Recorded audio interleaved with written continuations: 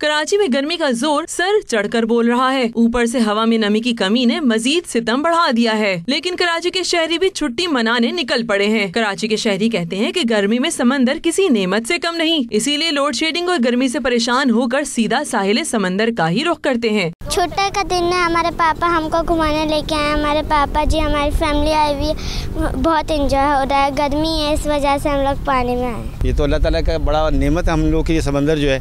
अगर ये ना हो तो मेरे ख्याल में 99 परसेंट जो लोग हैं वो घरों में कैद होकर रह जाए। गर्मी बहुत ज़्यादा था इसलिए हम समंदर में नहाने आ गए। महकमा मौसमियात के मुताबिक कराची में पारा 40 डिग्री तक चढ़ेगा लेकिन शिद्दत इससे भी ज़्यादा महसूस की जाएगी क्योंकि हवा में नमी का तनासुब 50 फ़ीसद रिकॉर्ड किया गया है जबकि हवा की रफ्तार 12 नॉटिकल माइल और रुख जुनू मशरक रिकॉर्ड किया गया है। कैमरामैन शाहिद मलिक के साथ नाजिश अयाज 92 न्यूज़ कराची।